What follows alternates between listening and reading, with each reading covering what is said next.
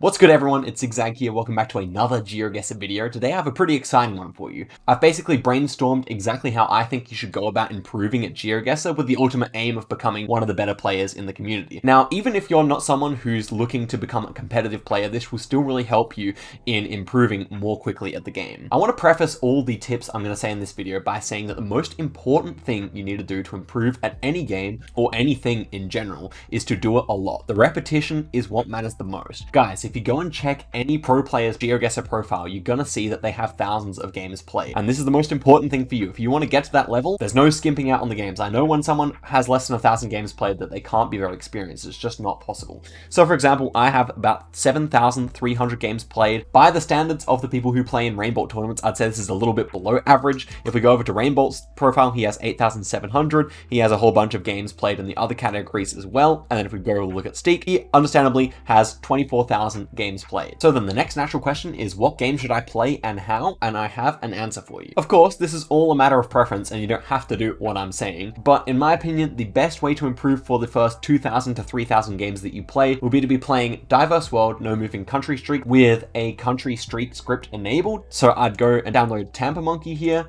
That'll appear in the top right corner here. Then go over to my friend Miracle Whips' page. This will all be linked in the description. Get the Country Streak script so that when you go to Diverse World, you click over here, you come into a game. I would say like setting a time limit is not a bad idea, playing on no moving like this, and jumping into a game, you will have a Country Streak script in the top right corner. So every time you get the country right, for example, this one should be Mexico, and that plate is what is this one again? Um, it's one of these ones. Maybe it is uh, Oaxaca. I think it's Oaxaca plates, right? Yeah, so you guess Oaxaca, you get the country right, and so then it says you guess Mexico, which it was, and then you get a country streak of one. I think it's just a really, really nice way of playing. It's low stress. You're playing against yourself. You're trying to get the best streak you can, and you can take things at your own pace. So I'd recommend when you jump into a game like this, being very intentional. You got to think about the signage, the road lines. We're going to talk more about all this in a minute the language, all this kind of thing. And you want to make sure you're playing in a way where you're actively learning things, actively remembering things and learning from your mistake, but also just having a fun time as well. Because if your ultimate goal is to become better, playing until you're not enjoying it anymore is actually not going to be achieving that goal. Because obviously, if you're enjoying yourself, you're going to come back and play more. So yeah, I think this one's going to be somewhere in Philippines. I think I've had this round before. Can't remember where it is. but let's just go somewhere over here and not getting close. I'm pretty sure that was on a Rainbolt play along at one point. You basically get the picture. It's not as glamorous as Duels, but I really would recommend playing Diverse World over playing Duels, because playing Duels is less time efficient, and also I just find the world map quite inferior to learn on, for many reasons that I won't go into today. So as you can see, I'm currently sitting on 7,312 games played, and I really wanted to get that to 10,000 by the end of the year, as I told you guys when I got back from Germany. And so here I've created this whole document where I have a plan of how many games I want to have played by certain dates, and then hopefully I'll be able to fill this out and reach that mythical 10,000 games played by the end of the year. I really do feel that to be competitive with the best players in the world, you really want 10 to 15,000 games played, if not more. Now, after everything I've said so far, it may surprise you to learn that I think there are actually two things that are better than playing diverse world country streaks by yourself. The first one is to go and watch educational GeoGuessr content where the creator is really trying to break down to you at your skill certain things that are essential knowledge to have memorized. For example, here I have this video I made a while back, 10 world maps you need to know for GeoGuessr. These chevrons in Europe, super helpful, especially for the Mediterranean countries. It's essential knowledge, and I just compiled 10 maps that I think are really important to have memorized, and you can find many such videos on my channel.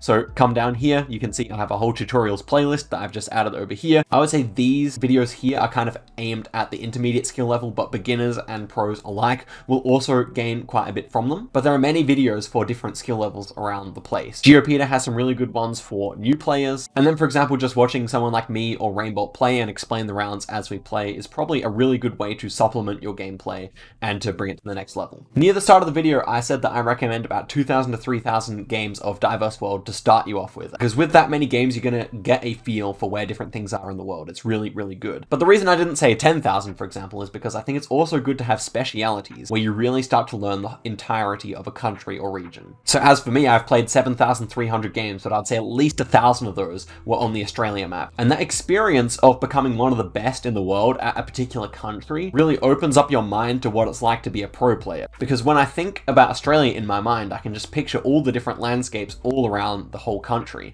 Whereas when I think of Romania, sure, I know what some certain parts look like, but the whole country's kind of a bit of a mystery to me. So in the process of learning one country, you begin to understand what it takes to learn any given country. So I would say learning your own country, if it's a big one, is a good idea. Otherwise, for example, my Australia guide could be a good place to start. I've basically got every single meta about Australia in there, and there are some other really nice guides on YouTube as well. So when I had Australia under my belt, then I thought it's time to learn some other countries and become really competent at them. I'm learning Canada at the moment, I'm learning South Africa, Botswana, a bit of New Zealand, and a bunch of others as well. And I think it's all really beneficial to my overall gameplay. So I already mentioned watching YouTube videos as one of the ways that's really, really good to improve. And the other thing that I think can be better than playing just by yourself is going and watching Twitch streams. Because Twitch streams often involve a streamer who's quite good at the game, who can impart knowledge on you while you're learning. And related to Twitch streams, also, if you can get a friend who's better than you and is willing to play with you and has a bit of patience, that can be really, really beneficial as well. Because you can be sitting there together and what they see in the round might be completely different to what you see. There might be a whole bunch of clues and specific tells that you're missing that they instantly see when they see the round. The same goes for the streamers, which is why streamers are a really good option if you don't have a friend like that. Of course, in addition to video guides, there are also text-based guides, of which I have a bunch saved in this folder. Now, instead of linking these, I'll link you guys to the Plonkit Discord server, where basically there's a whole lot of discussion about metas and about world records,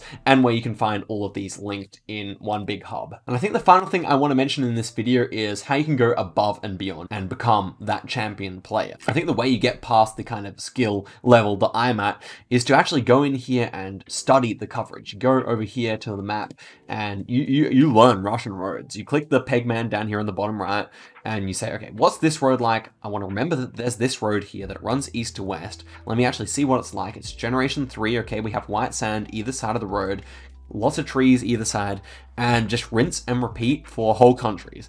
And um, True, it doesn't seem possible, but then you see the guys and they're nailing the roads when it seems impossible. And that is how they're actually going and studying roads. And uh, to be honest, that's not the most fun.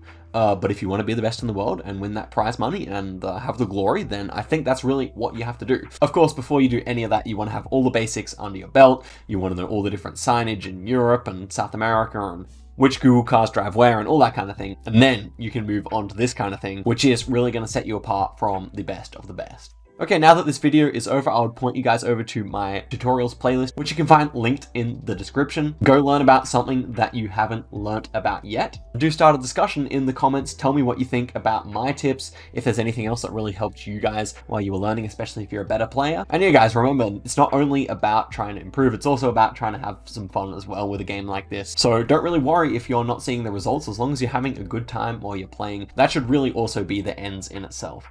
Well, guys, thank you very much for watching watching the video all the way to the end of it. I'll see you guys in a video very soon. Like and subscribe. Till next time, goodbye.